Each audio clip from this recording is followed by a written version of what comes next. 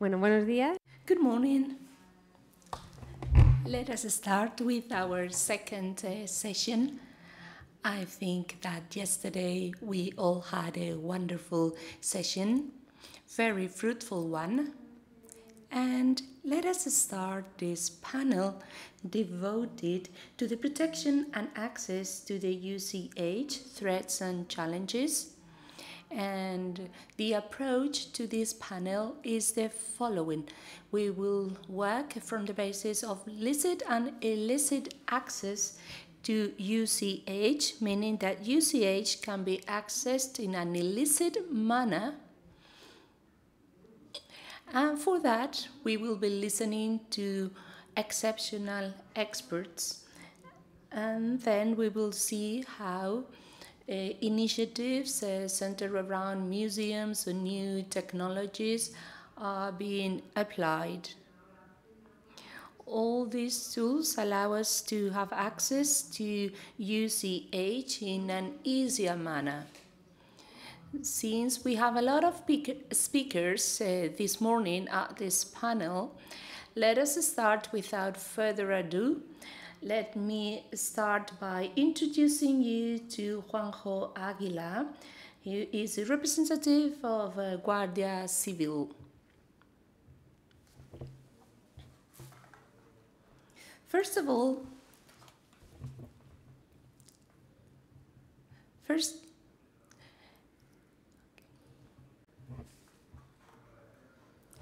I would like to thank the Ministry, the Ministry of Culture for his invitation to take part in this panel.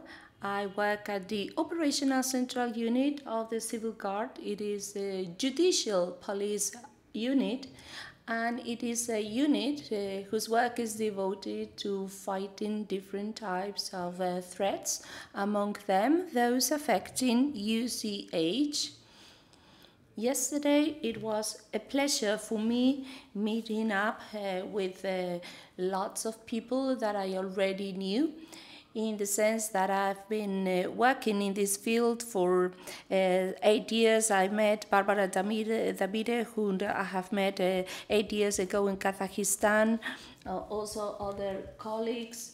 And also I met Cameron, with whom I work in previous missions.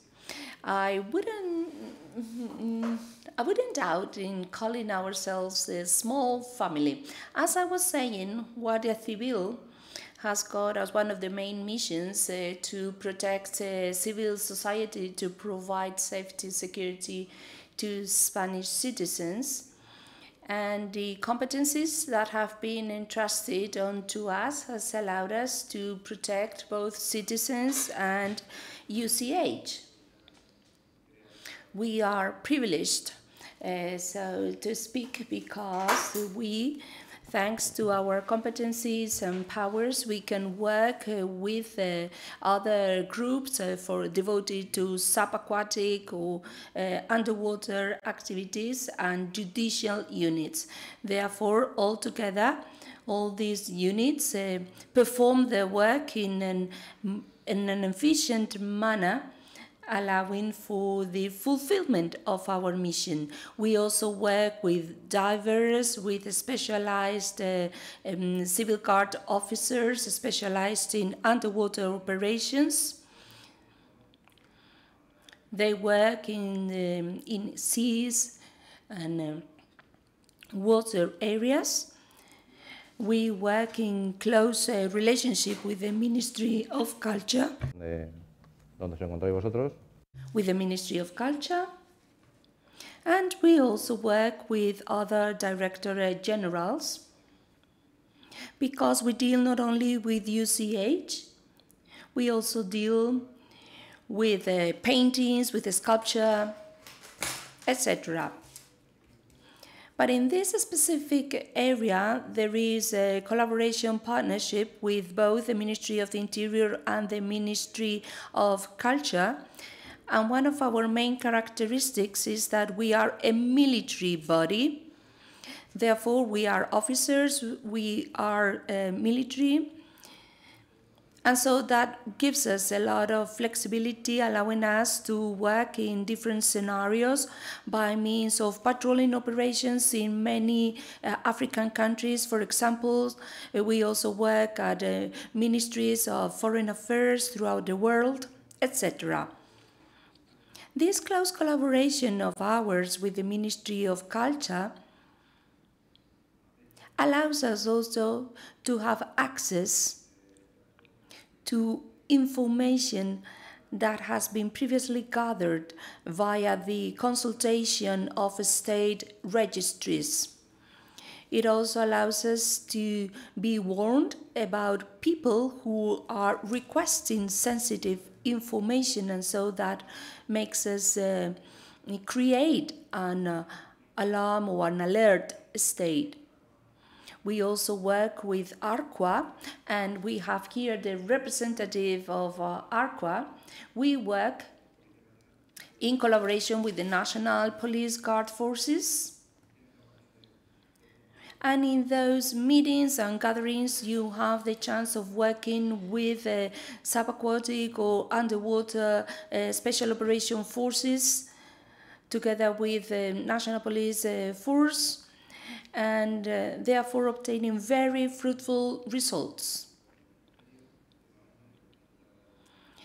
Lately, we've been developing training activities with, in collaboration with the ministry, whereby we train our divers and uh, it is uh, also essential for uh, capacity building we also work in collaboration with the underwater unit, specialized unit in uh, Andalusia. I work very closely with its representative, with uh, Dolores. We also work uh, in collaboration with Valencia and with uh, Catalonia. Oh, I didn't know she was uh, here present in the in the audience. So this is our modus operandi. By collaborating with other units, by exchanging information, we also work with the Army, with the Navy, and here we have two representatives of the navies and they provide us with the um, best uh, possible capacities underwater and sea capacities. It allows us to conduct our protection operations and our prevention operations. We work in collaboration with the unit for uh, operational um, actions and activities. We also work in collaboration with um, a center which is located in the province of Madrid. It is a surveillance center. And if we have any suspicions uh, or suspect that uh, any ship is uh, dangerous, we work in collaborations with them. We locate the ship and then we also use cameras and sensors and very sophisticated networks for surveillance and patrolling operations within coastal areas. We work, uh, therefore, with Frontex, which is the security specialized uh, agency uh, which uh, has been entrusted with the task of surveilling the area of the Strait, of the Strait of Gibraltar. They set up uh, electronic devices for localizing the ships.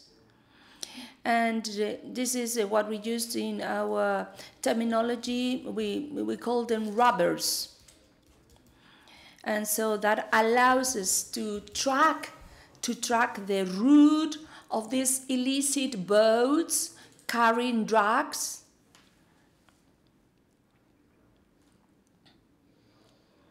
And so this device, this operational device, uh, is uh, deployed throughout the coast of the Gibraltar area. We have also been implementing the coordinates of the wrecks. The idea being implementing this system um, on our side so that we can have a more rapid uh, reaction towards any danger or threat to underwater um, heritage. If we receive a warning from the ministry or from the navy, or if we read about any piece of news, we can set up a prevention um, disposal operation. Here on the screen, you've got the number of units working throughout our uh, coast, our coasts, the uh, service maritime surveillance service was first started some decades ago so as to uh, comply with the basic law for law enforcement uh, being one of our competencies the surveillance of the seas and territorial seas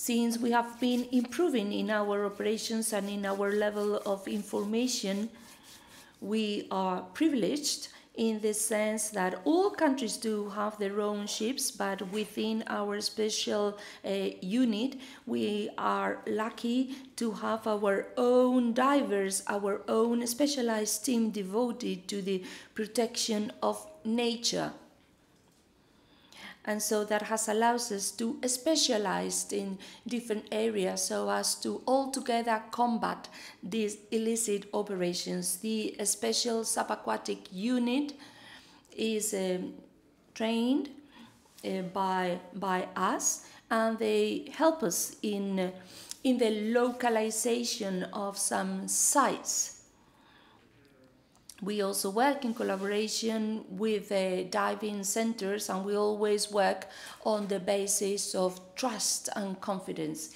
Here on the screen you've got an iconic uh, image of the Odyssey case which took place in the south of Spain and there was an order, judicial order um, requiring this uh, ship Odyssey ship to come back to port.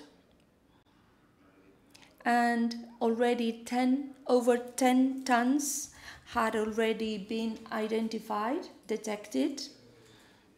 And they had used some devices and an, mm, and an air plan so as to deceive us. And um, also we conducted an operation in relation to this in Tampa, Florida.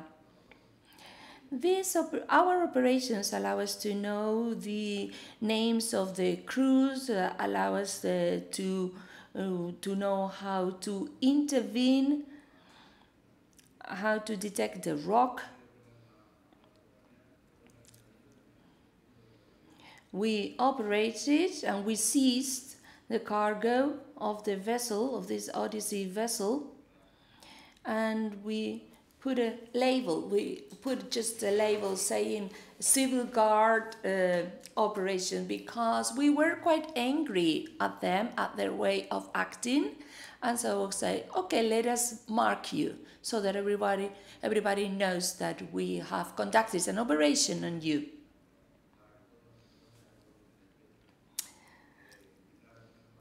And uh, so we wanted to convey that message so that we could could be seen what we were doing.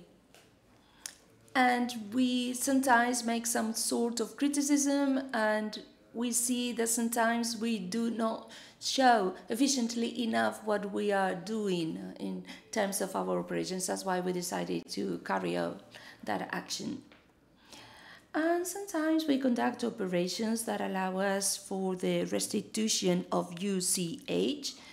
This is a wonderful uh, image and uh, for us it is wonderful but then when we take these objects to the museums it is not that wonderful in the sense that uh, museum experts do have to conduct their experts analysis on the objects recovered. And sometimes the result is that these objects are not authentic and uh, I'd, I would rather uh, recover just one single piece which is original rather than 3000 which at the end of the day are not originals.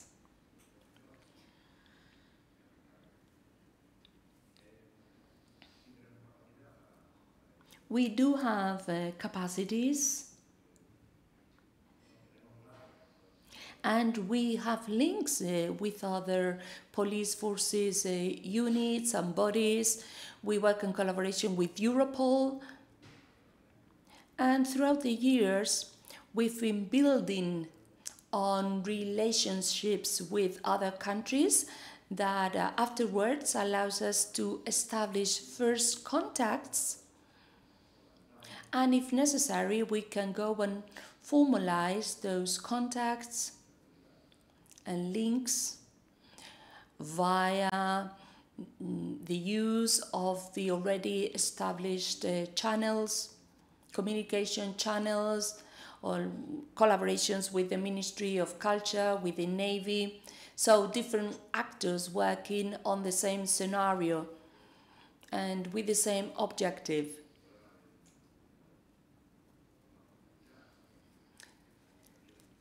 And sometimes when we have in front of us a problem which is very complex, we require the help and the collaboration of other units or for instance of uh, diplomacy if it's necessary in case uh, there are state interests involved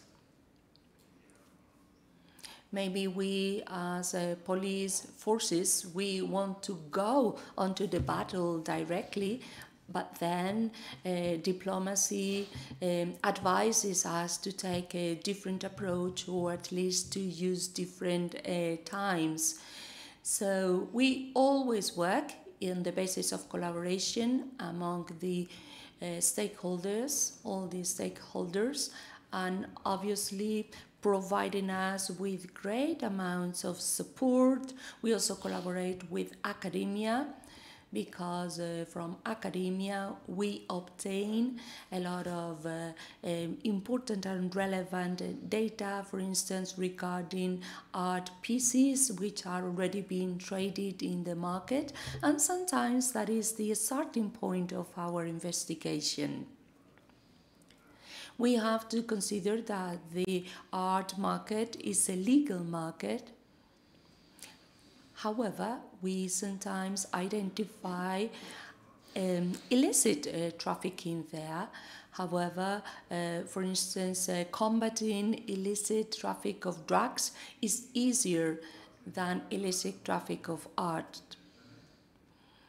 And also we have to consider that these days uh, some of these pieces are traded uh, on the internet and this uh, sometimes poses a complication uh, to our investigation. So again, let me conclude my presentation by thanking again the Ministry of Culture for their invitation. I am at your disposal for anything you might need. Thank you. Muchas gracias, Juanjo. Thank you very much, Juanjo. It is always a pleasure listening to you, and we would all like to, to be civil guards. I think uh, Juanjo has provided us with the right information as to how to avoid any illicit uh, traffic uh, uh operations or activities against UCH and all the different actors must be involved so as to deal uh, or fight against illicit trafficking of UCH. This is the way ahead for success. Let us now listen to uh, Cameron who will uh, tell us how we how they work from OSCE and the work they perform at customs you again to the uh, uh, organizers for this event and for inviting the OSCE Uh, just as a, a starting point, how many of you know what the OSCE is? Can you put up your hands? Let's see, one, two, three, maybe four. Okay. Long story short, the Organization for Security and Cooperation in Europe is the world's largest regional security organization under Chapter 6 of the UN Charter. What does that mean? That means we have 57 participating states from North America, all of Europe, the former Yugoslavia, Turkey, former Soviet Union, and Mongolia uh, as representatives and participants in the platform. Uh, it can make it quite difficult, but within that, uh, we do everything uh, under the sun that relates to human security, political, military security, uh, and environmental and economic. What does that mean for me? What does it mean for me and why I'm here?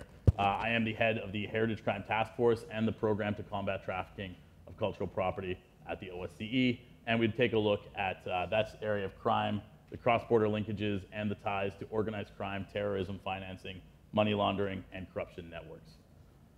Bit of a mouthful, but uh, that is kind of what we do in a nutshell, and that'll sort of set the context for, for what we do. Um, what I want to talk to you a bit about today is how you can use my team and come to us uh, as a means to actually enhance the work in combating trafficking and protecting underwater cultural heritage as well as terrestrial heritage uh, and find a way to make law enforcement work with academia, with the experts, and find a way to disrupt these networks and stop these pieces from moving in the first place. If we dial it back to 2017, when I first met Captain Aguila, uh, what this project started out was as an idea. The idea and understanding, of course, was that border guards, customs agencies, police, uh, museums were not talking to each other or even paying attention to this area of crime for the most part, except in, in silos. Museums were, but uh, the police and customs were not. Uh, at that point, you know, it, it, it's easy to look at a customs officer and say, well, why don't you look at this? But a customs officer cannot be expected to be an art expert, an archaeologist, to have an understanding of what they should be looking at. And to them, it's not obvious that what they might be looking at crossing the border is a crime uh, or potentially funding crimes. It's easier to stop a gun, to stop drugs. Uh, these things are obvious threats, whereas an amphora coming across the border or coming into port is not necessarily. So our job is to make those customs officers and those border management officers care, to make them actually do something, to understand how to do it, to use their networks, and actually understand how to handle these objects carefully, build intelligence networks, and do something that leads to successful prosecution and hopefully a repatriation. So in 2017, as a pilot project, uh, the idea was to just bring people together, awareness raising. We would, did regional meetings in places like Uzbekistan, Tajikistan, Cyprus, Montenegro, Mongolia, Italy. And you know, we started to build some traction. We started to get an understanding of who this network was. We started to build an expert roster. And we started to get an idea of where these trafficking networks were operating and the sorts of things that they were doing uh, in order to try to evade police. Fast forward to 2021, uh, I came over to the organization and we decided we needed to do something better. We were getting tired of uh, just going to talk shops, just sitting in classrooms and not actually doing something about it. Uh, I'm sure you've heard, maybe not, uh, the OSCE has had a reputation in the past, uh, and the acronym has often sometimes stood for uh, Organization for Seminars and Conferences in Europe, Old and Seriously Confused Europeans, or the Organization for Sowing Chaos Everywhere. So we decided we didn't want to do that anymore. Uh, we want to do something real, something tangible, something operational where we could actually start to make a difference. So with that, uh, we put in place a brand new program to combat trafficking of cultural property and turned our expert roster at the time of about 10 experts uh, and turned it into the Heritage Crime Task Force, which today, after two and a half years, is now 61 officers and exports, experts from 34 different countries and international organizations. That includes border guards, police, financial investigators, forensic investigators, cyber investigators, military, uh, museums, and ministries of culture, as well as state prosecutors. What we do as this team and what this team does for uh, the participating states is that uh, we offer capacity building for frontline officers, help them to understand what they should be looking for, how to handle objects, how to actually do an investigation on site at a museum, at an archaeological site, how to conduct darknet investigations, uh, and financial investigations that are underpinning the, the financing networks, uh, as well as how to present these cases to a state prosecutor so that actually makes a difference and that it can actually be something that's taken up in court and can find success either nationally or internationally. Within that, um, we do several different things. As I said, we do capacity building training. This involves simulation, scenario-based training with the task force. We bring experts into a sub-region.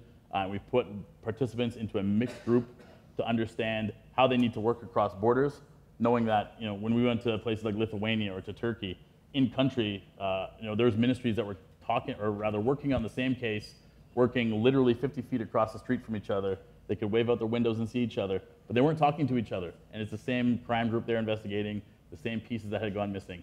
This doesn't make sense. And we knew if it wasn't happening at a national level, then it certainly wasn't happening at an international level. So we started bringing the mixed groups. We bring in different countries and we say, okay, Finnish police, you're going to work with Norwegian customs and Latvian financial investigators. And over the course of the week, you are now going to be put through a series of fictitious crimes.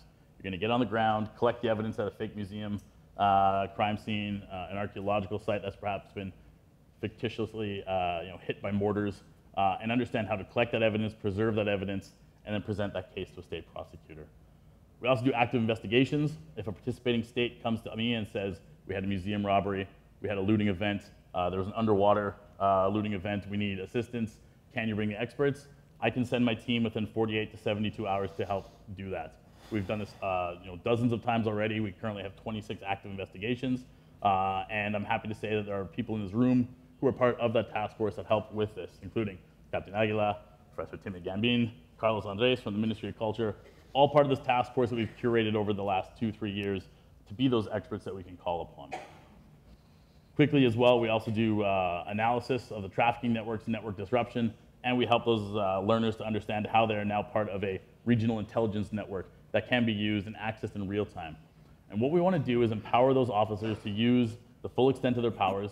As a customs officer, perhaps, if you have 72 hours to seize an item, use the full 72 hours.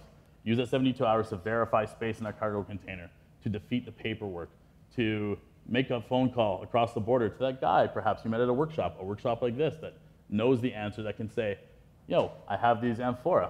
I think there's worms and, and you know, uh, crustaceans on them. Could you help me identify it? I would then call up somebody like Timmy or somebody else in this room that could then help to identify and build that case to make it stronger without having to wait weeks and weeks and weeks because at that point, an item is gone. How does this relate to underwater cultural heritage? Um, we are now, having done seven of these conferences and workshops, as well as national workshops, 27 active investigations. I'm now proud to say, working with Malta, uh, we are now moving into the realm of underwater cultural heritage training. Uh, and this October, we will be doing uh, a workshop bringing divers from across Europe and North America to Malta, where we're going to be doing underwater crime scenes uh, and use of technology underwater for the investigation of underwater uh, cultural heritage. Uh, this will involve underwater photogrammetry, uh, hopefully setting up some underwater crime scenes, uh, and working with Malta and using their expertise to understand, help the learners understand what they can do in the underwater environment to preserve evidence, preserve the scene, and you know, continue with the case. We're going to follow this up in the new year uh, with an event in Portugal, working with our colleagues there to take a look at how this can also be done in riverbeds and estuaries, understanding the technology that Portugal already has in place uh, to map the riverbeds, to find the sites, share that information uh, when it's uh, normal time or peacetime and you're not looking at investigation so that law enforcement can understand where these sites are. So should an emergency ever happen, they know how to respond quickly and they know who the points of contact are. And conversely, should something ever happen, those ministries, museums, uh, museums uh, and other experts know who the law enforcement uh, officers or customs officers or investigators are in country in order to you know, facilitate an investigation more quickly. Um, I think I'll keep it there because we're going to be short on time, but should you have any questions, do come and talk to me. Uh, we're open, we're expanding our team all the time, uh, and like I said, we've got 61 experts and officers at the moment across Europe and North America constantly working on this on a day-to-day -day basis. So uh, we are active, we're out there, we're doing something, we're making something happen in real time and not just, um, well, spreading chaos everywhere, as uh, the old acronym used to say. So back over to you, Paloma. Thank you.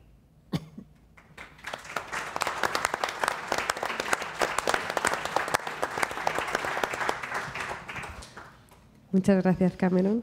Thank you very much. Thank you very much, Carmelo.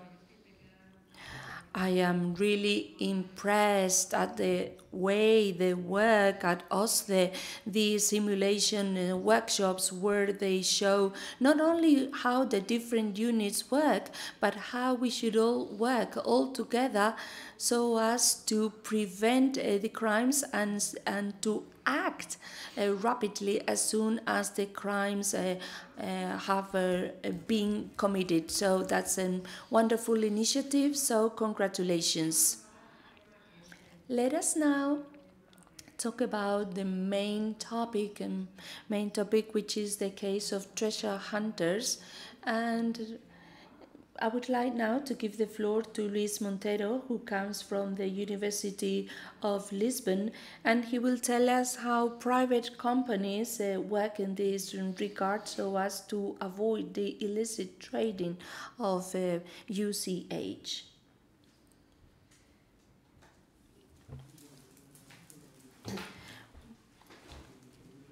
Well, thank you very much for your invitation. I will switch uh, on to English and uh, I'll start now. treasure hunters unwillingly because in 1993 treasure hunters bribed some members of the Portuguese government and they passed a law that basically opened the Portuguese waters to treasure hunting.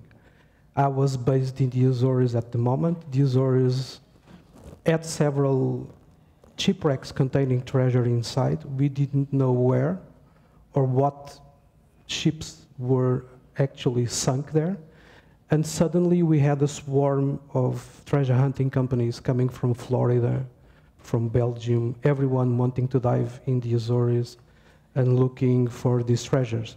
So I spent all of these years researching treasure hunting, their networks, and their modus operandi.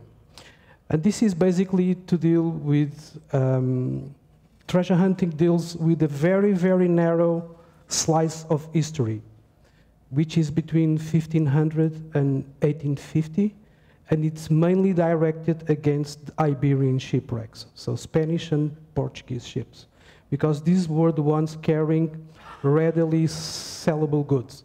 So we are talking about silver coins, gold coins, and Chinese pottery. And this has to do with the movement of the age of the discoveries when the Portuguese and the Spanish expanded the maritime borders of Europe into the world. And this was done using ships. These ships were carrying, for instance, artillery. And what people do with our Iberian heritage is now up to them. For instance, in Thailand, this fisherman found a Portuguese bronze cannon from King Manuel I of Portugal, and what they did with it was they cut it to pieces to make a statue of Buddha. In Mozambique, when you see the balcony of the Ankara Cafe, you will notice that it's all composed of shreds of Ming pottery because there are dozens of Portuguese shipwrecks around the Mozambican island, and people dive to get the shreds, look at the Spanish silver coins that were sunk with those Portuguese ships in the 17th century. They melt the coins and they produce these kinds of jewelry that they sell to the tourists for four to five euros. So this is basically people salvaging ships and taking profit of heritage to make a living. But then there are corporations that look for gold. They look for silver, and they then sell gold and silver in international auctions. Portugal had its first go at treasure hunting in 1974. We had the Carnation Revolution in April, so the fascist government was thrown out, the people were shouting in the streets, and the Belgian diver Robert Sténuit, one month later, taking profit of all of this commotion, went into Porto Santo Island in Madeira and found this wreck of the Dutch ship Slot ter Hooge, which immediately went into auction. This is Robert Marx. He is now fortunately dead. but in 1993, he was the guy that bribed Rui Gomes da Silva, which was a member of the Chamber of Deputies in Portugal, and who was in family with the Secretary of Culture, Pedro Santana Lopes. And they made this law, as I said, that basically opened the Portuguese waters to treasure hunting companies. And so Robert Marx was one of the players, as was this German count, Nikolaus von zu Sandizell, who created the company, made basically part with German monies and Portuguese monies, and which had on its meeting board, on the boarding, had this guy, which was a- an admiral in the Portuguese Navy, who basically said that we are mainly interested in looking for jewelry and stuff that is basically um, valuable when we are not really interested in looking for archaeology of the ships. The majority of these peoples, they, as you can see from the, the, the secret convenience of this company was to obtain a significant return on invested capitals from auctioning precious remains. And this is also the very, very secret um, meeting list of the people that were shareholders. And these were very important people, not only in Portugal, so the, main private banking family, which is Ricardo Salgado, and the Espírito Santo were the main uh, founders of this company. But we had a lot of people, like, for instance, the pretended heir to the Portuguese throne, Don Duarte de Bragança, a guy that was a navy commander was put in prison for corruption for seven years and is now dealing in arms with the Portuguese government. And a lot of people from the high society in Lisbon. They tried to go to the Azores. We fought against them on, as citizens. And when the government was overthrown, so Antonio Guterres, which is now chairman of the United Nations, was invested as a prime minister, one of the main actions that he took was to repel this law. So Arqueonautas, the name of this company, they had everything set, so they moved to Cape Verde. And they did in Cape Verde what every company does everywhere in the world. They go there and they say, you have a lot of shipwrecks, a lot of these shipwrecks have treasures inside, you don't know where the treasures are, you don't know where the shipwrecks are, we have the expertise, we have the divers, we have the archivists, we know their locations. We will take the risk of going into the water, finding these sites, excavating them for you. We'll split the merchandise in half. You'll keep the best pieces, and everyone is happy because you will have your museums filled with really good looking stuff, and we will make a profit of the repetitive coins and whatever. This is how they sell this everywhere. So they sold this to mainly the Minister of Defense, Napoleão Ulpio Fernandes. So basically, they bribed him. They went to Cape Verde, and then they produced again another very um, secretive report, which was the estimated value of shipwrecks in Cape Verde. So what they were really looking at was how much money can we make out of the cargo of these shipwrecks. So I suspect, I cannot confirm it, that this guy, which is, was one of the richest persons in, Lisb- in Portugal, was laundering money via his branch of the Cape Verdean Insular Bank using this treasure hunting company. Anyhow, he was the main shareholder. And once you start diving, you start looking and finding stuff. This is from the Guadalupe, a Spanish ship sunk in Brava Island in Cape Verde, and they took a lot of jewelry and coinage. And this is another example of how things can go really, really wrong with treasure hunting companies. They found what we suppose to be a Portuguese built uh, astrolabe, silver plated, unique in the world. And when the Cape, Cape Verdean government said, We want this astrolabe because it's unique, the company said, Well, listen, we have spent 2 million euros already in operational costs. Can you pay them back to us?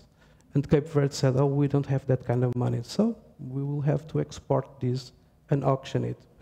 And they sold it to the Mariners Museum, which is a maritime museum that follows the ICROM uh, Code of Ethics, but they still managed to buy this astrolabe. And why? Because this is not technically a treasure hunting venture.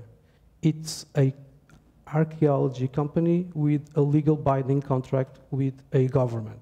So they could actually export it and sell it to a maritime museum. They had people on board pretending to be archaeologists. They never set foot in Cape Verde. One of them was Mensun Bound. You might remember that he famously discovered the shipwreck of Ernest Shackleton in Antarctica a few uh, a year ago. Another one was Margaret Rule, the famous archaeologist from the Mary Rose, which was also paid by this treasure hunting company. There were secret operations that took treasures from Boa Vista Island in Cape Verde to, uh, to the, the, the Netherlands.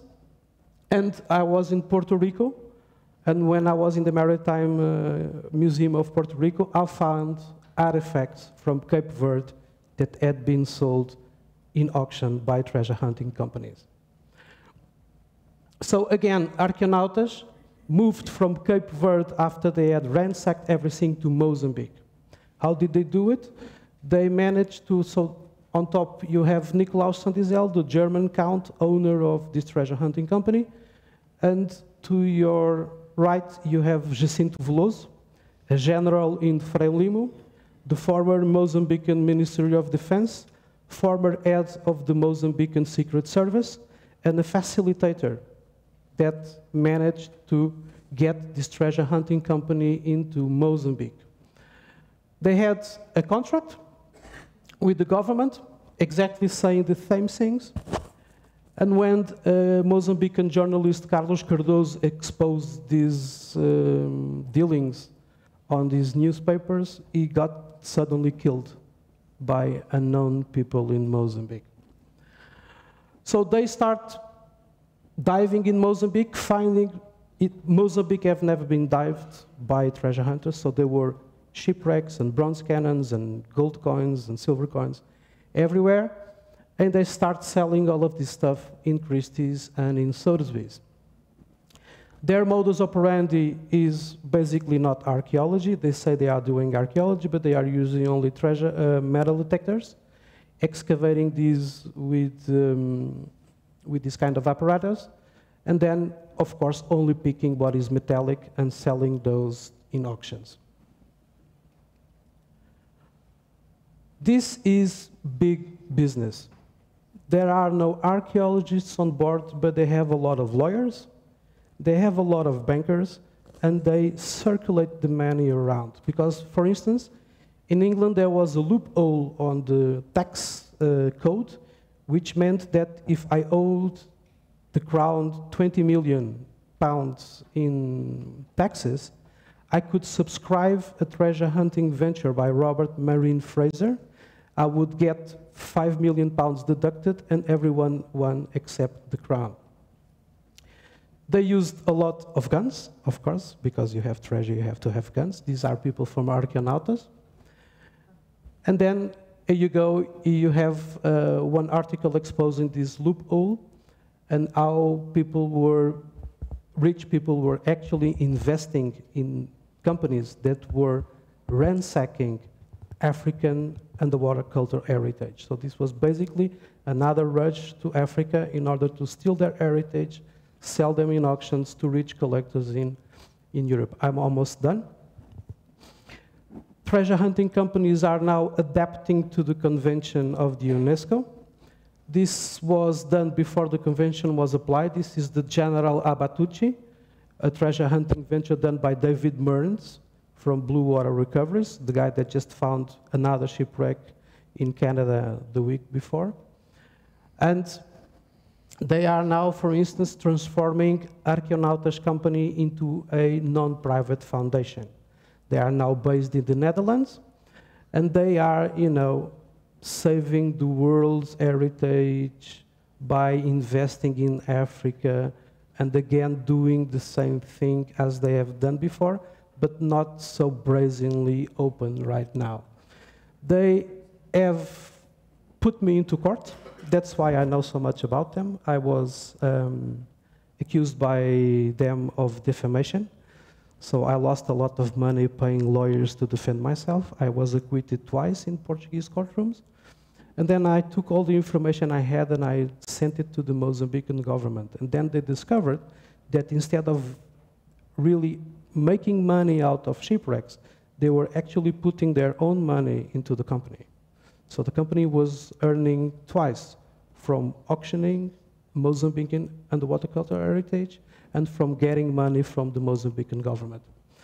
Um, the people that accused me of being a very bad person and defaming this very nice archaeological company was a Portuguese Navy admiral, the Portuguese Minister of Culture, and the Tile National Museum director.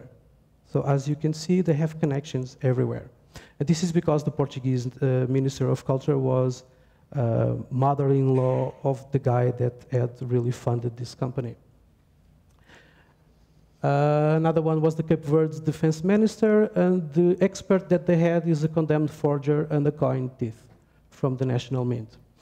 They got Kevin Costner to sell clothing branded Arqueonautas for them, and you will see that Kevin Costner was so enthusiastic about treasure hunting that uh, he hired Alejandro Mirabal, which calls himself a nautical archaeologist, he is not, he's a marine biologist. He dove with Fidel Castro in the now defunct Carisub, which was a company that Fidel Castro made looking for Spanish galleons in Havana. And Alejandro Mirabal said that he's a nautical archaeologist. He is not. I wrote to Lenin's um, University in Havana, and they said, no, no, he has no degree in archaeology because we do not concede degrees in archaeology, he's only a marine biologist. And so Kevin Costner is now working together with Alejandro Mirabal, and they sent a party of people in 2023, something like that, to Cape Verde to again look for shipwrecks. And once I knew that they were going there, I phoned my colleague in the Cape Verdean uh, Institute which I had helped train in, Mo in Mozambique. And I told them, listen, Kevin Costner and Alejandro Mirabal are going again to Cape Verde, and this is not going to look good for your shipwrecks. So they sent the Cape Verdean Justiciary Police, and they arrested the American divers that were together with Alejandro Mirabal. Last year, I was an expert for the South African government because Alejandro Mirabal and Kevin Costner wanted to go look for a shipwreck in South Africa that had the remains of the Chinese summer pavilion. So, treasure hunting can be what some Spanish divers do on the weekend, and it could be a really, really big corporation with a lot of ties with money laundering, with tax evasion schemes, and basically looting some vulnerable countries on the heritage in order to sell it to rich collectors in America and in the United States. So that's it. Thank you. Bravo. You have I think it's uh, Muchas gracias, Alexandre. Thank you, thank you so much, Alexandra. Well, we all know how uh, treasure hunter companies uh, work, but uh, we, we, we always, we continue to be impressed when we hear that uh, again. So, the importance of the convention, the more countries ratify, the more protection we will have, or the, the more power we will have to uh, kick them off. And uh, now let us move on to licit access of big visibility projects and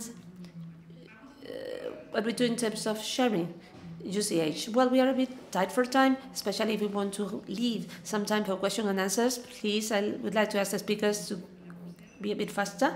Let us give the floor to Antonio Espinosa. He is the director of Villajoyosa Museum and uh, owner of Bou Ferrer. It's one of the best practices by UNESCO since 2017. You have the floor, Antonio.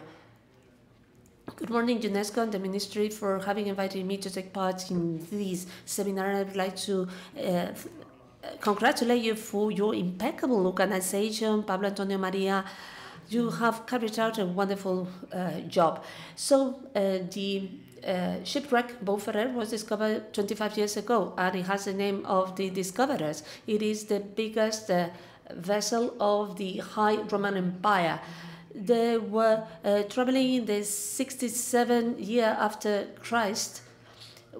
With they were carrying a cargo of amphoras and. And they had the seal of Nero Emperor, who was the owner. And when it was on that route, it deviated from the course, probably due to a storm, and therefore they set, sought uh, port, which is the last port between Cadiz and Roma, and Rome, which is Villa Joyosa. We have signs that at the time there were no, uh, when there were shipwrecks or ship builders, in Villajoyosa and probably other vessels from other Roman uh, crews or Roman vessels repair the vessels in Villajoyosa, but this uh, vessel sank one kilometer away from the beach. It was awful for them, but for us it was a great luck. So there were like uh, Baetica vessels that were the biggest in the world. Bou is 25 meters below sea, and it is 300. Uh, but there are the mm, vessels that are 300 meters below sea, and that not easy to access. Whereas Bou is easy to access. And we carried out several campaigns with the coordination of José Antonio Mayo from the University of Alicante and then preservation of the Villa Museo. We have excavated some 10% and the project is led by the regional ministry or government of Valencia with the participation of the Council of Villajoyosa and the Nautical Club. So there is uh, several institutions, several entities, public and private, and this is a very good example of collaboration between different among different institutions. I would like to highlight the uh, great support that we had from the our regional government, despite the different political colors, different political parties, and different uh, political parties in power. The, what we see on the screen has been seen before. We and the photographer or the camerographer is Juan Antonio Moya from the university. He has done videos, he did filming, photographs to create innovating forms of accessing UCH. We need those types of materials. Then we said, why not allowing sport divers to share their experience of excavation live? That was a challenge. It was pioneer. Eh, we organize visits with the authorization of the regional government. We set up groups of five divers when the site was not being excavated, and it sounded a bit reckless. We had, well, they require great organization. Actually, we decided in a manner that it was mandatory to pay a visit to the museum before diving. So they, yes, then they also visit the labs for restoration of underwater materials. They touch the amphoras at the museum or at the lab so that they didn't uh, fall into the temptation of touching the amphoras when they found them. We told them the history about the shipwreck and we explained those sport divers the how, how, how we uh, do things uh, rather than what we do. Well, we cleared the doubts that they had. We also uh, told them about the expectations that we have for that unique uh, site and told them that it is the best uh, site for archaeologists. It is a time capsule. It is a perfect time capsule. So after visiting the museum, we briefed uh, them at the port, and the archaeologists that were accompanying them uh, told them how to move about, uh, how to dive. And then that was done with the together with the local diving club. that was supporting the project with the oxygen bottles, etc. We also carried out satisfaction surveys, and we could see that diving immersion had a high score, like 7.9, but the visit, the visit to the museum had two decimal points higher. And I said, well, how can it be that you are visiting or going to one of the most spectacular outstanding sites in the world, but what you like the visit to the museum even more?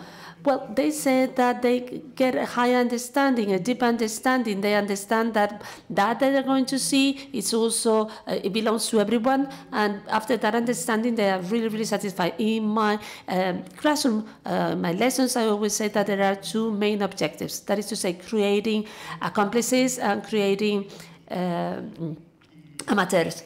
So we have created uh, accomplices for years now, and that's the reason why we were acknowledged as a best practice by UNESCO.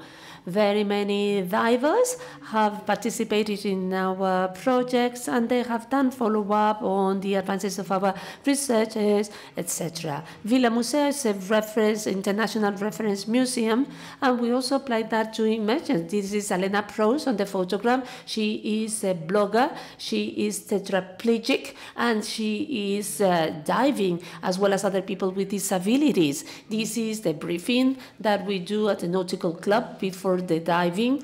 And this is the visit to the uh, storage of the amphora.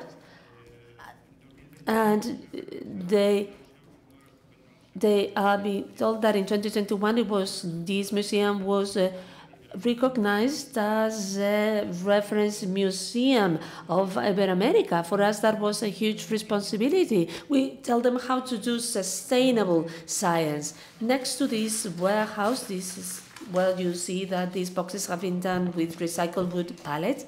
Next to that, we have the lab, and then we tell them how pieces are restored, etc. This is the photograph from Antonio Moya, and this is the side of a vessel. And this allowed us to build a model, uh, Playmobil scale, and we used the same construction process that Romans used. We also printed out at the scale, and also we did a virtual model, a virtual model of the shipwreck, and then we took it sailing. And together with them, we won several international accessibility prizes. And this is one of the most important awards that we got, one of the most important in the world. We used to compete with football stadiums, with cars, with IT uh, software. And that project, our project focused on, well, Ferrer, we refer to it as augmented accessibility and it was about the whole process of selecting of pieces, uh, virtualization, 3D printing of uh, heritage pieces, and of course bearing in mind all kinds of accessibility uh, needs. We set out 14 parameters, etc. In 2021, the regional government, and I'm finishing off, set up or installed a protection system at the site that was an innovative uh, system. Well, the system is already obsolete, 20 years have gone by. Now we have designed a new system. In 2020, well, COVID 19 came, so we took a stop or we stopped to redesign, to rethink this new protection system that will be soon applied. It is a non-gravity system, longer duration. It is um, has different modules. Have been designed by the University of Alicante together with the local company uh, for uh, IT company.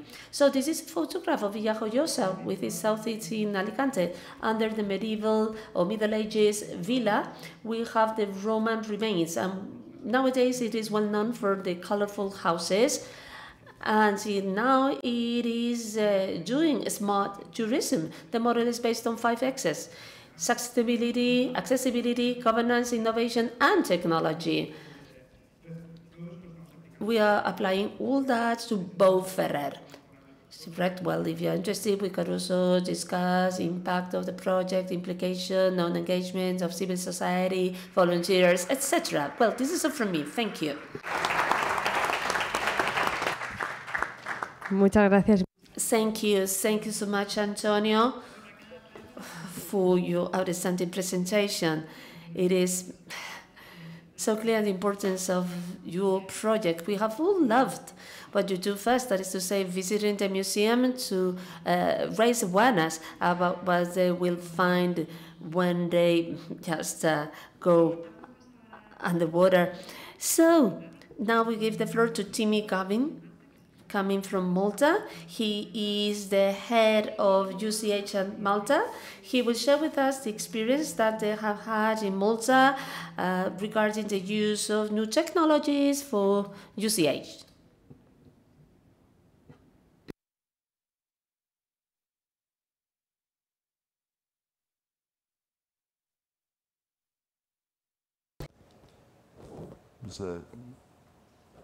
Perfect. Okay, so in Malta there are three entities involved in the uh, protection, management, etc. of underwater cultural heritage. The superintendence of cultural heritage is the regulator. Heritage Malta is the operator, so the one that opens the sites to the public, um, organizes access. And then there's the university that carries out the bulk of the, uh, of the research. Three words that guide our work are explore, record, and share. And everything we do is encapsulated in these, uh, in these three words. So, explore, why? Because to manage, you need to know. You can't manage what you don't know. That's fundamental uh, of, of, of life. Whether you're a parent or a businessman, you need to know what you're, what you're managing. Uh, and therefore, we have a systematic uh, survey. The idea is to cover the uh, entire territorial waters of Malta, which are not as big as of Greece or of Spain. But uh, suffice it to say that we have 10 times more seabed than we have land. So, you know, that's uh, a fair amount when you put it in, uh, in context of the size of our island.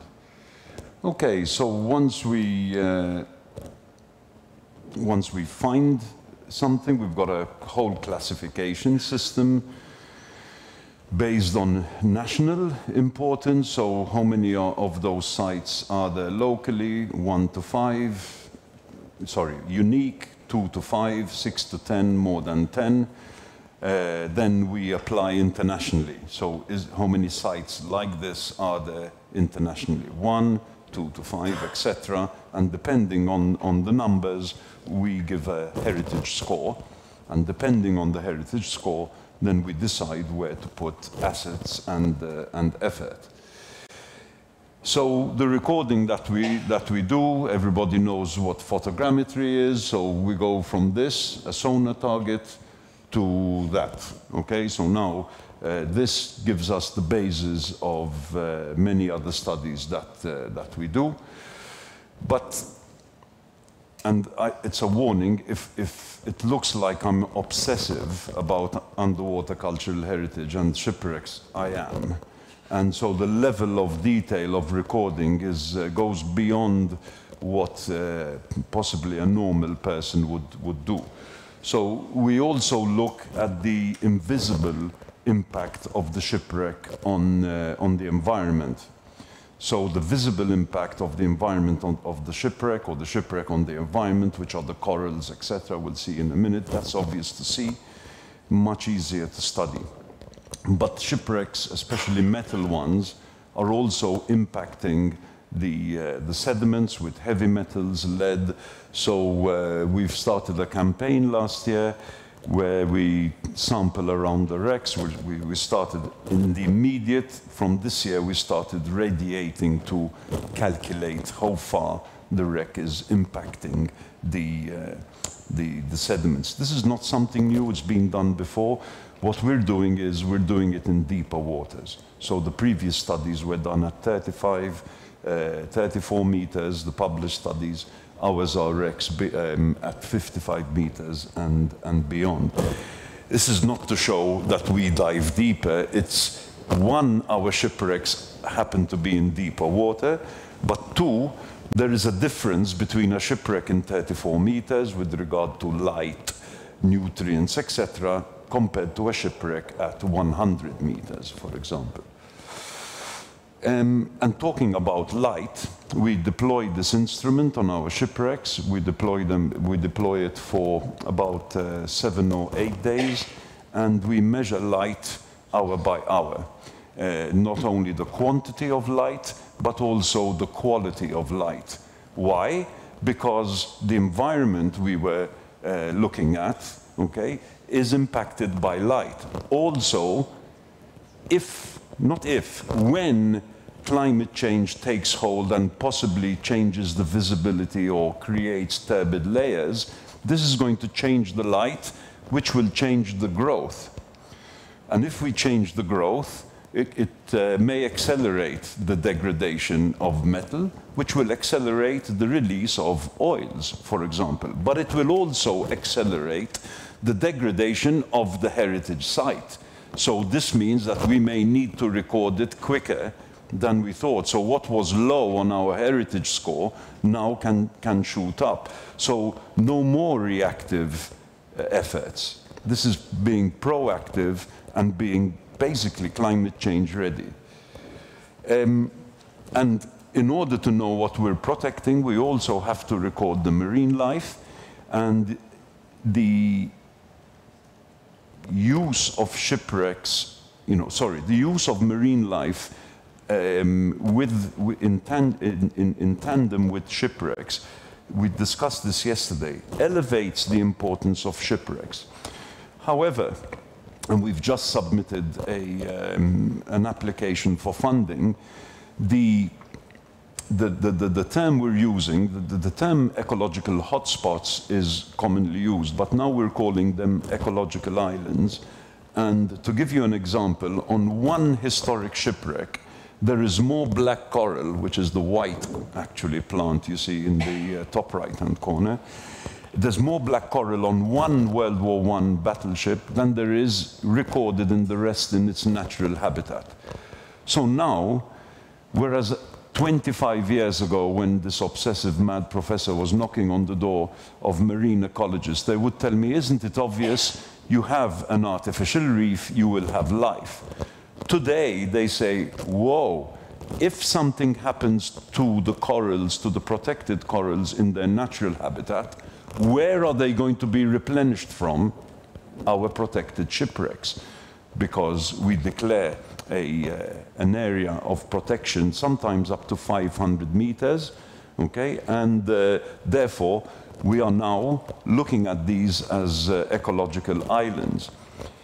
They can also act as ecological islands in the negative. If the lionfish makes its way to Sicily, it's going to make its way to a shipwreck in international waters and eventually make its way to a shipwreck in Malta. So a part of the uh, funding we've asked for will go into studying how long these invasive species take to, uh, to travel. Again, to be invasive species uh, ready.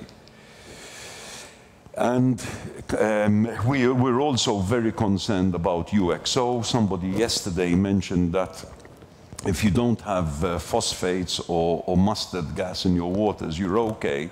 I will, I will ask that person to think again. TNT is carcinogenic.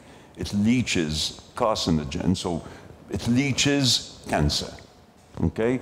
So we, are, we started a project by um, sampling sponges to see whether the sponges next to unexploded ordnance react differently or are impacted differently to sponges away from the unexploded ordnance. And we just got the go-ahead to start uh, catching a type of fish, rockfish, that lives uh, our, on our protected uh, wrecks because we protected them no fishing and then we've got to apply for a permit to fish on our own wrecks.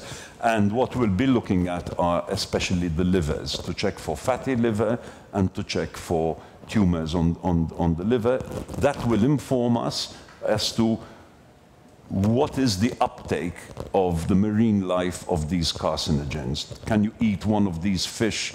Because you cannot fish on our protected wrecks, but there are hundreds of wrecks uh, in and around Maltese territorial waters that are not protected, that the fishermen, these, this, this new fashion of jigging, uh, know about and will catch fish. So we want to calculate what is the uptake? Do you need do you eat a fish a day, every, you know, for every day and you're safe, or do you eat one fish and you know you may grow a tail uh, in 48, uh, 48 hours? Um, I know I, I talk about it lightly, but uh, in order to lobby your, your, you cannot go and lobby with the Minister of the Environment or Minister of Defense without the scientific information in, uh, in hand. Um, marine plastics, that's another big word, um, and shipwrecks are yardsticks. Where does the marine plastic get stuck? On shipwrecks, because otherwise the current will slowly take them to the abyss. So why not use um, shipwrecks as yardsticks with people who study the marine environment to calculate what types of plastic move, how they move, how fast they move, how they break up, how they're impacting the sea life. This is the same plane I showed you. Uh, somehow bottles jump into the wing. I don't know how, but. Um, and then to help us, we're also developing systems with AI. This is the uh, Tawarek uh, Park. It's 70,000 square meters of amphoras. I'll be damned if I'm going to count them. Uh, so far, no student has uh, volunteered to, to count them. So we're, uh, we're, we're teaching AI how to not only quantify, but also qualify um, underwater cultural heritage, basically.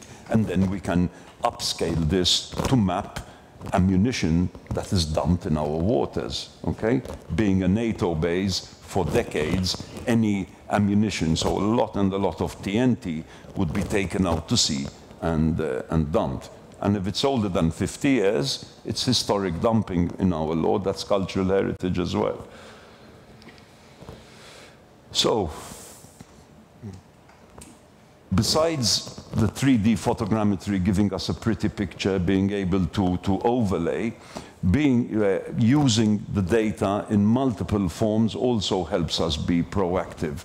So now we create a 2D, 2D image of the shipwreck that we've, uh, that we've surveyed and then superimpose blueprints. So if we're approached with, first of all, we can study what the integrity of the metal is close to, so the red outline is where the fuel tanks are. Let me make that clear, sorry.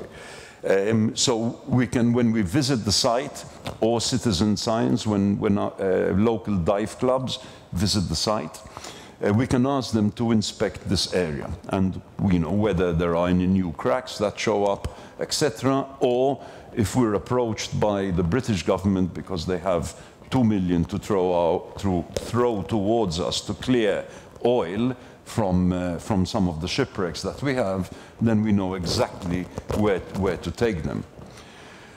Uh, and sharing is obviously important. Sharing amongst the academic community is important, but let's face it, as much as we think that our um, subject matter is exciting, and it, indeed it is. But when you publish academically, you know, if you're lucky, you get 500 reads, maybe a thousand if it's a seminal paper, and then what? So what? You know. So it's very, very important that as heritage managers, that as, as people who are involved in underwater cultural heritage, to look for and find and utilize various tools that are out there. For example, Google Arts and Culture is free. If you have a good story to tell, they will accept it and they will put it up with all their millions of users. Okay, this is a, an effort we are particularly proud of, which is the uh, virtual museum, underwatermalta.org. So all the data that we gathered, you know, for 3D models, for management, for counting coral, etc., etc., also goes to share with the general public. I didn't include a slide because, because of the time constraint. Clear, we have 22 heritage sites that are open to the public via a booking system. So the dive centers need to register with Heritage Malta. Once they register, Heritage Malta gives the dive centers access to a booking system Once a ticket is booked, obviously, divers booking, they need to sign terms and conditions, no penetration, look no touch, respect the sea life, etc., etc. Those divers accessing the sites are put on a database, so we know at least legitimately who has been and who, who has not. And then they, uh, they access, they access the, uh, the, the site. Um, but people who dive in ratio to the world's population is tiny. People who dive beyond 60 meters is minuscule. So our job is not to take people to the site, that's taken care of, but we need to figure out how to take the site to the people. So the museum is one, one way that, uh, that we do that. Um, however, we are extremely, extremely proud of this uh, initiative called Dive into History 360. So whatever project we do, we record our project with a bespoke 360 camera. Uh, whether it's in uh, 20 meters of, whether it's in six meters of water, our student excavation, or 130 meters of water, it is imperative. Yes, we do the sonar, we do the 3D, we do the sampling, but we also do the 360. And for free, we offer this service to all schools um, and all government agencies involved, such as active aging centers, you know, where, where, where, people of retirement age go and spend the day doing, doing activities. And the idea behind this is two. We're not there to convince them all to become maritime archaeologists. I need to protect my job, of course. But we're there to do two things. We're there to make the kids fall in love with the ocean. These are marine biologists. These could be policy makers of the future. And we're also there to unlock their imagination. If you love IT, you love AI, you know, there's something you can do in, in marine sciences. If you love languages, you can write scripts for documentaries, etc. So um, just to give you an idea, we have a very small population, but uh, just in November, which was our, our record year, we covered approximately 1,200 school children. But nobody is to be left behind. I was, I was blown away by Antonio's slide of, of, of the disabled person diving the site. Uh, this is an effort where we take underwater cultural heritage to the blind. I told you I was mad, I told you I was obsessive, and nobody gets left behind. So in this case, we created a, a set of uh, objects, including a 3D, a 3D model. Each station was manned by uh, one of our team and students, and we allowed the participants to, to explore um, the objects, uh, etc. And I must say that uh, it was a, a fantastic uh, success. The other aspect of shipwrecks is memory, and I think we, we, we, we give we do not give the credit that, uh, that, that memory is due. Thousands of people who are still alive today um, have some kind of connection. It was mentioned yesterday, World War II is more popular than World War I. That's because the connections are still very much, you know, grandchildren, uh, grand, great nephews, etc. And these are photos of uh, the funeral of Sergeant uh, Newman, Irvine Newman, who recovered from a B-24 off Malta. He was uh, buried with full military honors in Arlington just a few weeks ago. So the next slide is a reflection of, uh, of my obsession. And I'm not saying that this is sort of the way forward, etc. This is the way we do it, the way we found works for us. We have our advantages because of our geography. You know, we are a small country, um, so, so in a way it's easier, and in a way it's more difficult because more fishermen are, have more access to the shipwrecks, more looters, etc. So I'm not going to stay explaining, but believe you me, everything that I've done is, is connected, and uh, uh, thank you for your patience in, in listening to this obsessive heritage manager stroke archaeologist.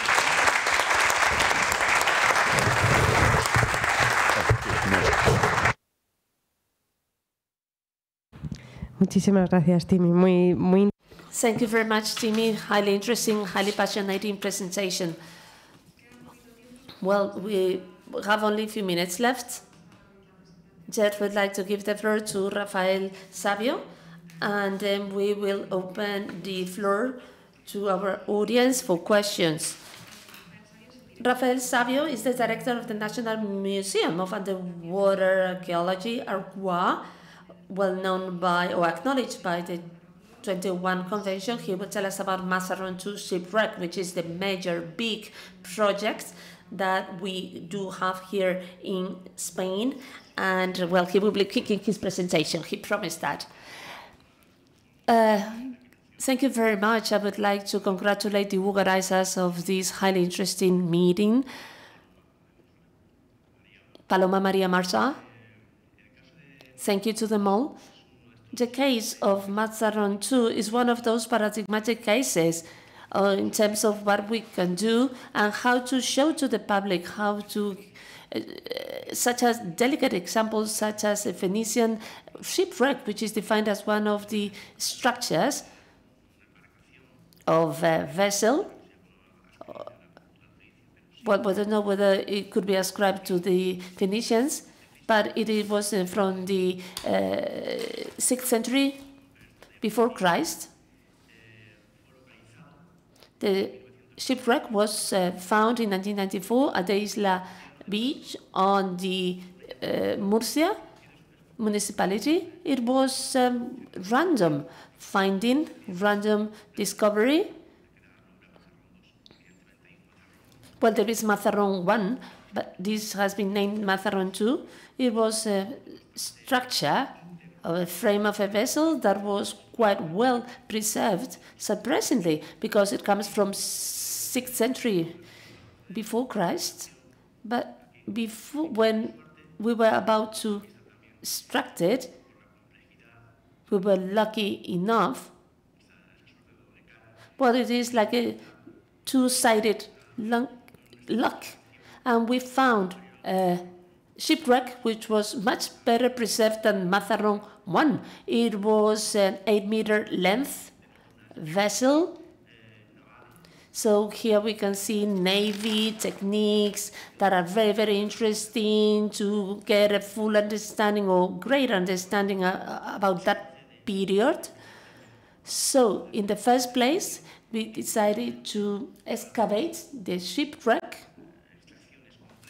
Well, the extraction was complex, and we also decided to cover it to ensure protection.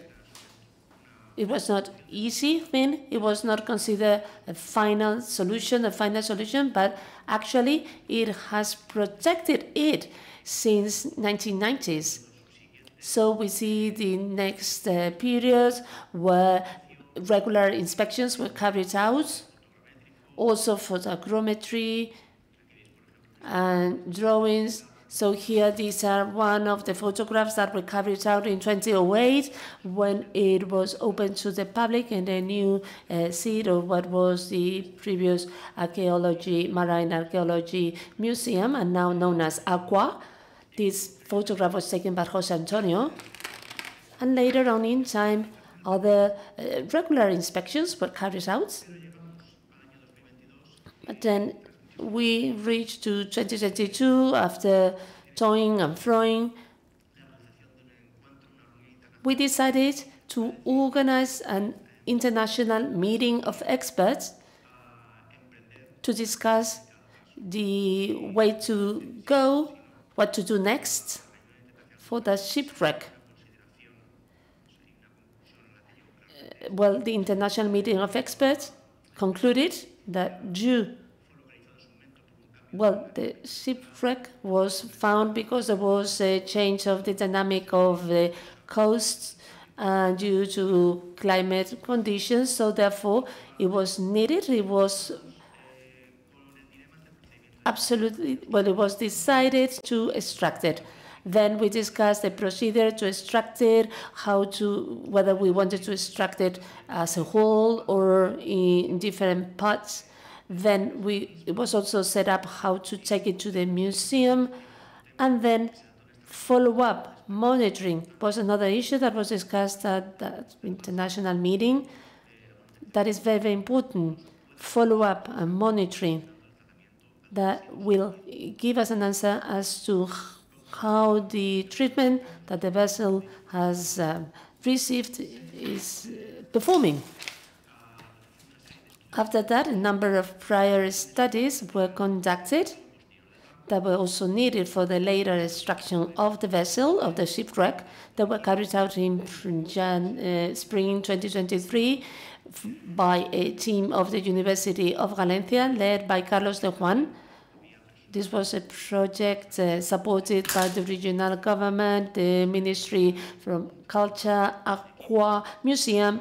So that is to say, we carried out teamwork. We worked as a team. We managed to map the structure and we have taken very important samples, as we can see on the screen, as we could see from the sampling that the shipwreck could be extracted in pieces, but not disassembling it, not after disassembling it, which is often the case done in some cases in modern times, but shipwreck is enormously fragmented.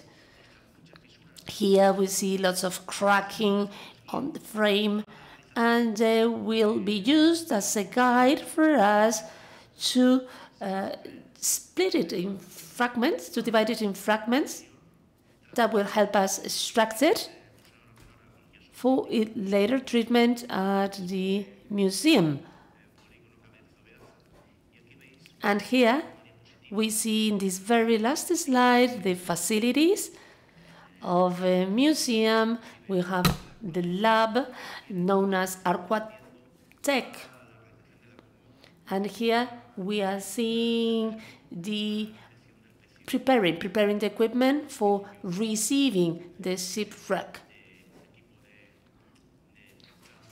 So the museum has bought a filtering system, filtering equipment.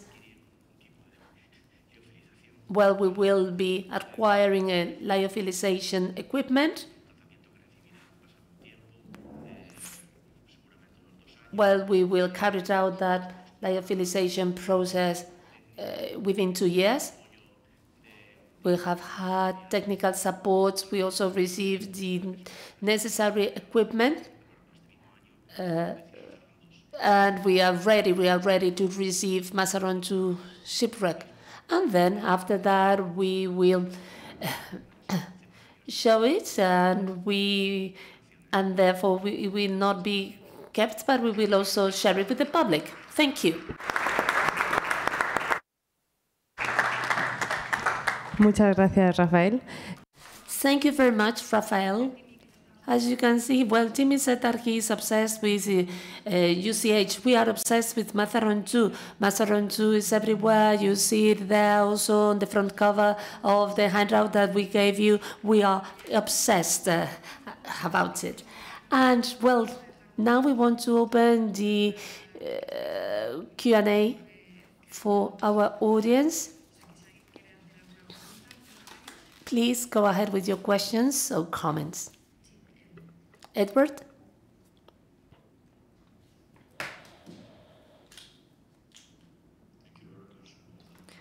panel. Thank you to all your speakers. My question relates to uh, the looting of wrecks and uh, the um, these um, gold and um, valuable pieces which are put uh, on the market. The international community is uh, strengthening its mobilization for many years now to uh, reinforce the uh, provenance and the diligence on the um, cultural objects which are put at auctions notably and on the market.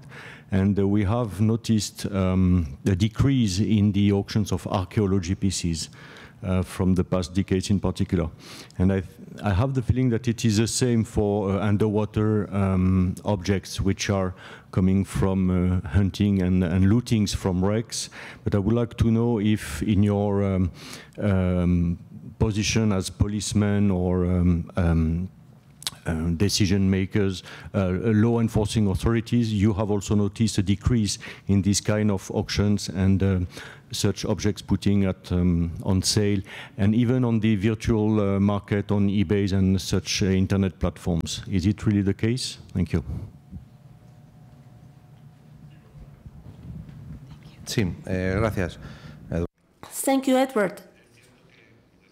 Thank you for your question. As I said at the end of my presentation, the fact that there are more and more an increasing number of platforms, well, online platforms are a challenge for us. Uh, so, for instance, in Catawiki, Catawiki has its uh, registered domicile at the Netherlands, Well, if we want to question them, we have to go through Siena channel, through Europol, and uh, most likely the police forces of the Netherlands would ask Catawiki. And that makes it complicate things. To give you an absurd example, if Picasso were to be stolen today and were found on Catawiki, perhaps we as police forces cannot really find out who put it on sale, who is behind all that. That's ridiculous, isn't it? So I think there are some European directives aimed at that, that is to say, at requesting those online platforms, those marketplaces, to comply with uh, stricter requirements.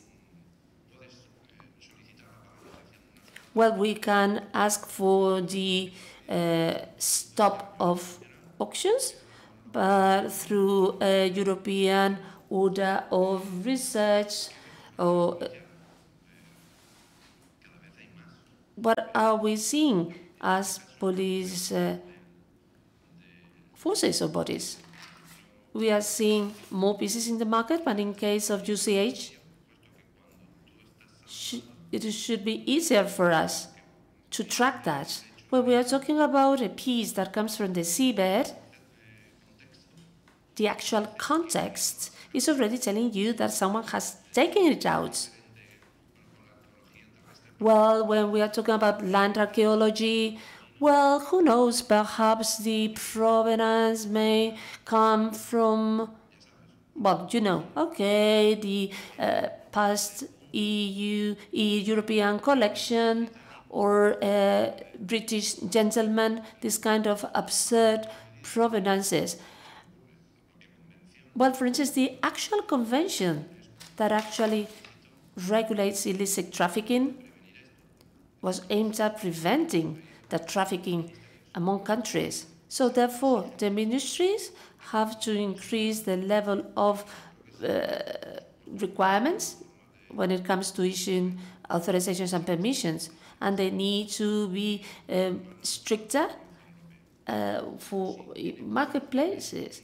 And then, so if the piece comes from underwater, please tell me how you took it out.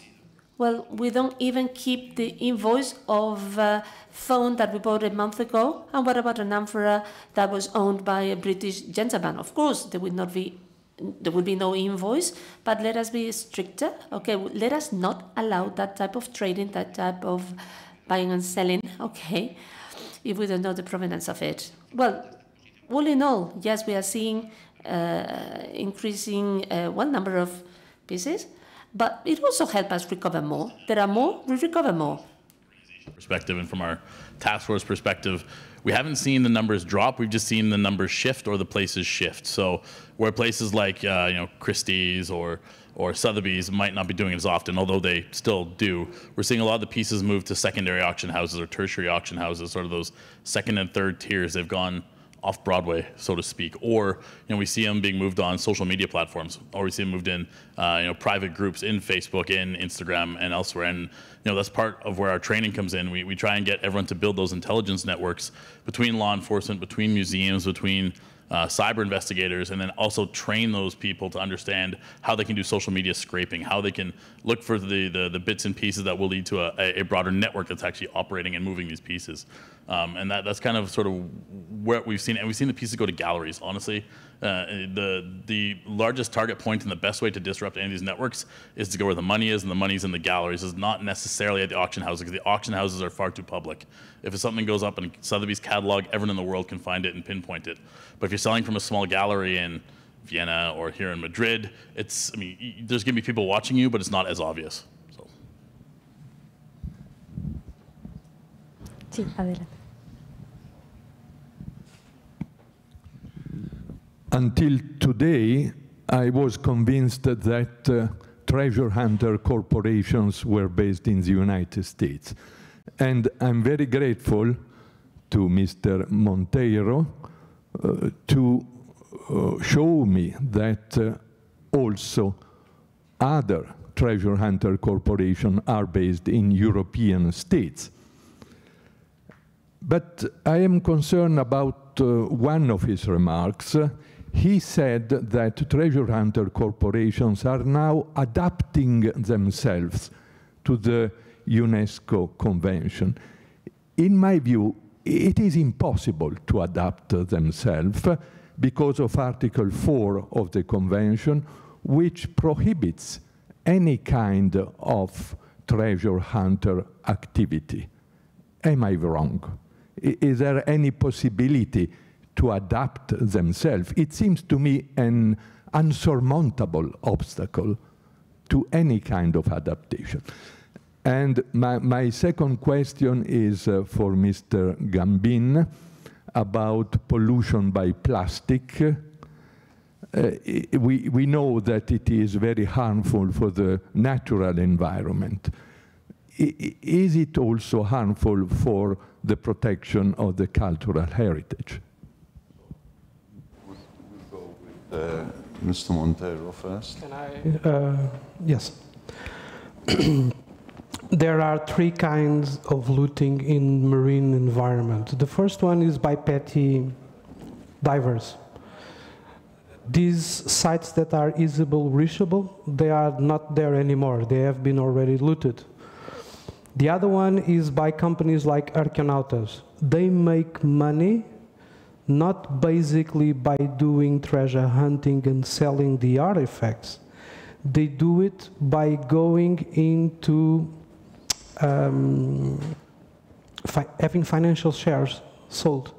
So they need to be public. And they will say, we have this very good business model where you will invest $100,000 and we will find this huge San Jose wreck in Colombia and your revenue is going to be $1 billion. So they, need to be public, and that's why we know a lot of what they are doing. They are also trying to hire archaeologists or pretend archaeologists and have legal bindings with these failed states or vulnerable states like Brazil, Indonesia, uh, Mozambique, Cape Verde.